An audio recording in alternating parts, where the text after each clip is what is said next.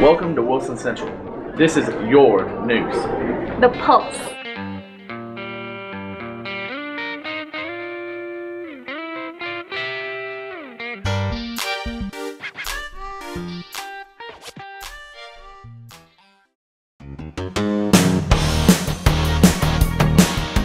Hey everybody, this is Focus on Faculty. I am Noah and this is Commander Case.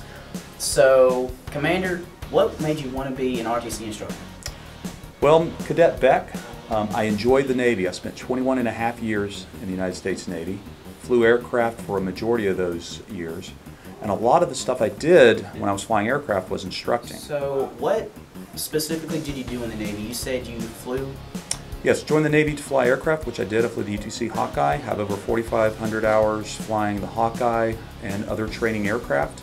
I was also, uh, did several tours not flying, uh, which involved uh, working with joint staff, uh, working on the ship just as what's called an assistant strike officer. I actually became an officer of the deck and a command duty officer underway where I got to actually steer the aircraft carrier and drive it around. And also, my last tour, I was air boss on an aircraft carrier where I controlled flight deck, hangar deck, fuel systems, and all the airspace within five miles and 3,000 feet of the ship. So you're pretty much a principal for the air, air wing of the ship. Yes, it was a very fun job. Had about 800 people working for me. Oh wow, that's cool. Uh, what is the hard? What has been the hardest part about being a new teacher at Wilson Central? Biggest thing is culture shock. I just left uh, the United States Navy. Things are a little regimented there, a lot different than when you enter high school. But it's been a lot of fun. Uh, this, the administration here, the teachers, the students, all top class. I've, I'm enjoying coming to work. And that is something not a lot of people say is that they look forward to coming to work every day that I do. What is your favorite flavor of ice cream? Favorite flavor of ice cream actually is uh, would be chocolate chip cookie dough. Chocolate chip cookie dough? Did you ever get to eat that on the carrier? Yes, actually, we would have ice cream days, and that was a big thrill on the ship because usually you don't get frozen ice cream. That would happen maybe once a month or so. Oh wow!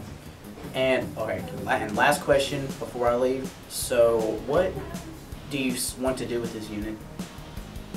Well, the ROTC unit here at Wilson Central has a very good reputation. My goal is to continue on that strong foundation that it has and uh, keep going forward. And I think we're going to get there. We've got a great group of cadets and, like I said, an excellent administration here at Wilson Central. And an outstanding Master Chief, by the way. All right. Well, thank you, Commander Case. This was this has been an awesome interview. Back to you guys in the newsroom.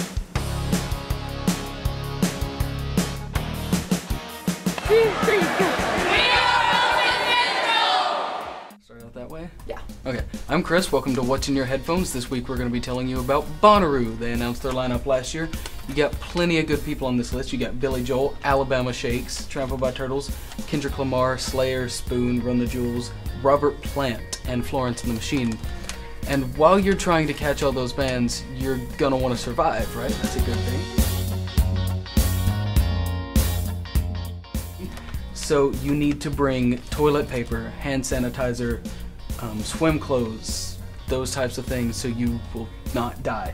And bring a portable phone charger so that your phone doesn't die. Um, when you're at Bonnaroo, the water fountain is your life source. You will go there to cool down, you will go there to talk to people, to meet up with people, and you're gonna wanna keep your phone, money, identification, keep those things in plastic bags so that they won't get wet and you don't have to leave them sitting out where strangers can just reach over and grab them. Bonnaroo is not a concert, contrary to popular belief. It is an experience. You want to walk around, plan very loosely, catch a few acts that you want to see, and then just explore everything in between, trying to find new bands.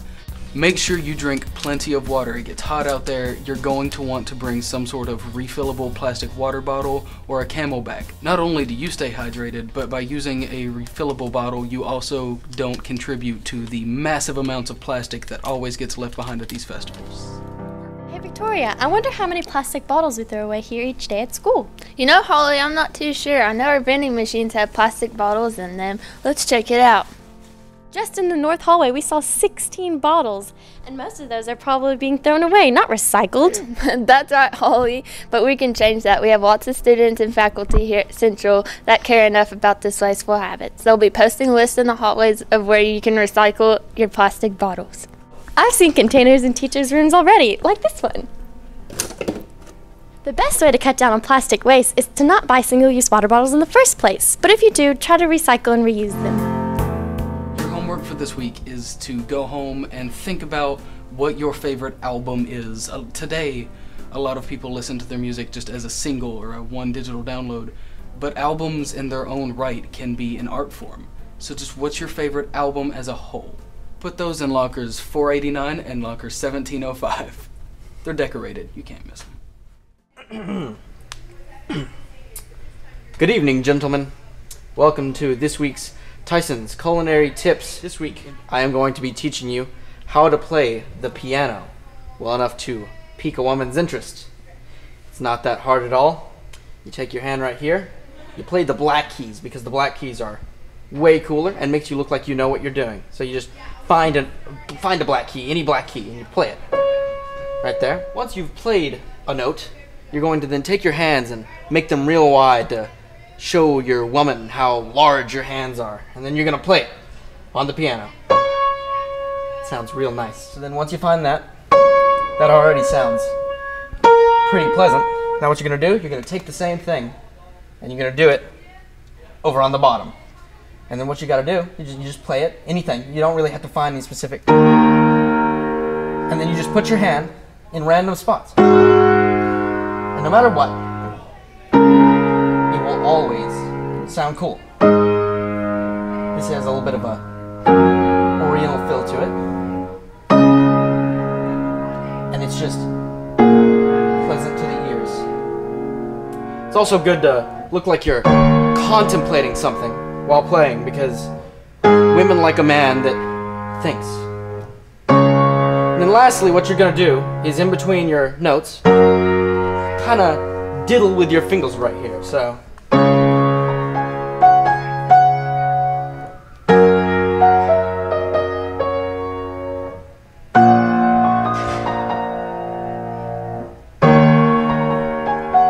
Always on the black keys. And if you just follow that right there and nothing more, women will come to you with great speed and they will never stop pursuing you as long as you have your fingers on the black keys and you diddle with the fingers.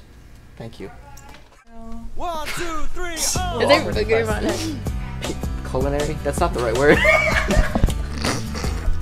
I didn't know who you were oh, No, I still have like Pop Tart, Mama. Okay.